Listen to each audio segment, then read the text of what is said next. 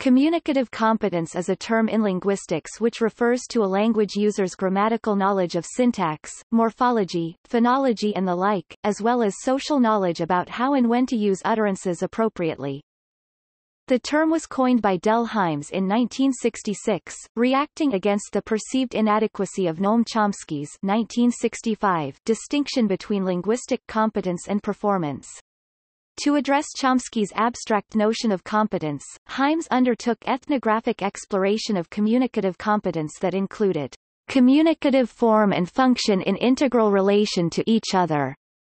The approach pioneered by Hymes is now known as the ethnography of communication. The notion of communicative competence is one of the theories that underlies the communicative approach to foreign language teaching.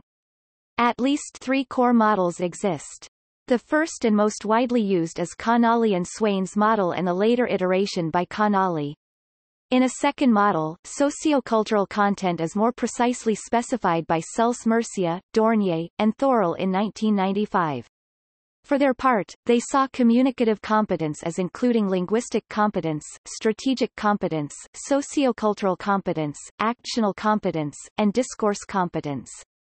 A third model widely in use in federal language training in Canada is Bachman and Palmer's model. The understanding of communicative competence has been influenced by the field of pragmatics and the philosophy of language, including work on speech acts.